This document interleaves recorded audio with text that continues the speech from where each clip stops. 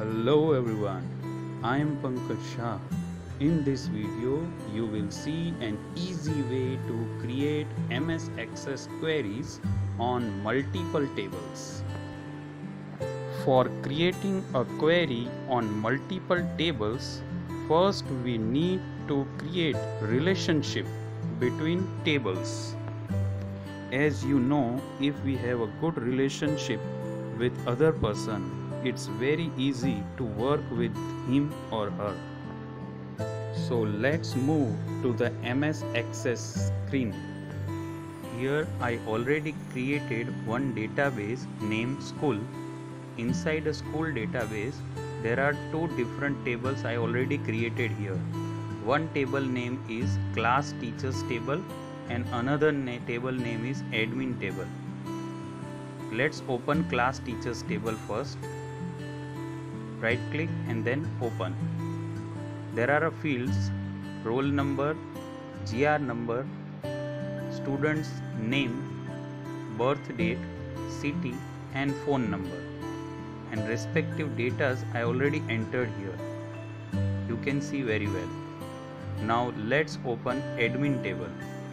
Once again right click on admin table and then open.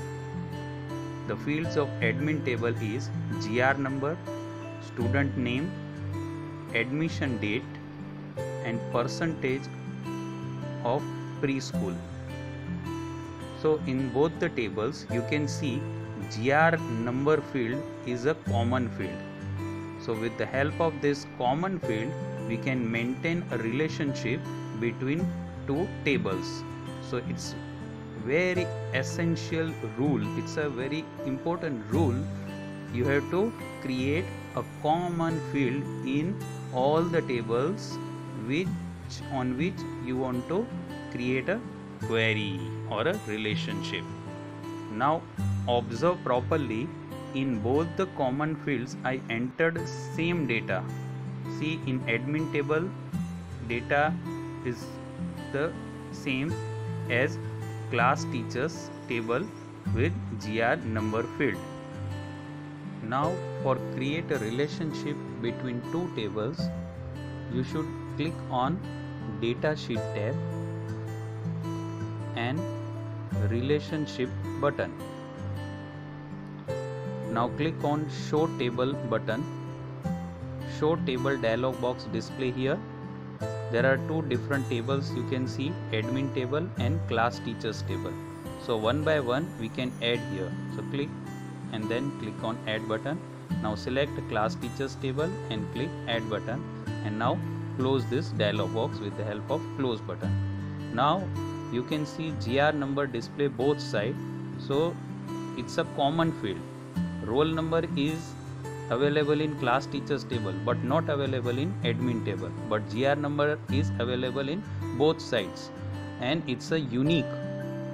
So we just click on admin table gr number field and then drag it on class teachers table gr number field.